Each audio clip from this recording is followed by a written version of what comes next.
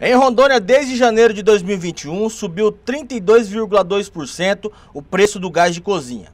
O gás em Cacoal é o mais caro de todo o estado. O consumidor encontra o produto por até 135 reais. Empreendedores do ramo de alimentação chegam a relatar que gastam em média uma botija e meia por mês e que esse aumento tem causado grandes transtornos. Quem achar que os preços estão de forma abusiva pode entrar em contato com o Disque Denúncia pelo telefone 69 3907 41 32.